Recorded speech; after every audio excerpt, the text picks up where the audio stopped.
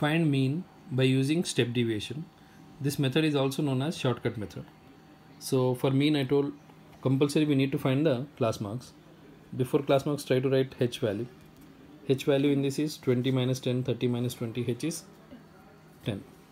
So now class mark is 0 plus 10 by 2 that is 10 by 2 that is nothing but 5 10 plus 20 30 by 2 that is 15 or you can add h value 25 35 45 here first we need to find di we need actually ui for ui formula is xi minus a by h.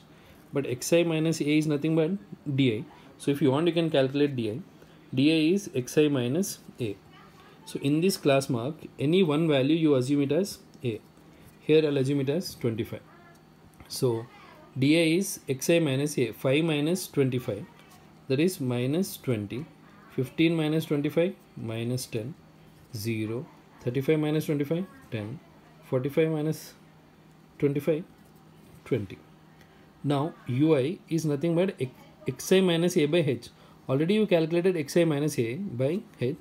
That is minus 20 by 10 is minus 2 minus 10 by 10 minus 1 uh, 20 0 by 10 is 0 10 by 10 1 20 by 10 2 but my advice is wherever you'll assume a beside that you can write 0 minus 1 minus 2 1 2 if the classes are in ascending order. Otherwise just calculate di xi minus a ui is xi minus a by h. Now we need fi ui so calculate fi ui fi is frequency.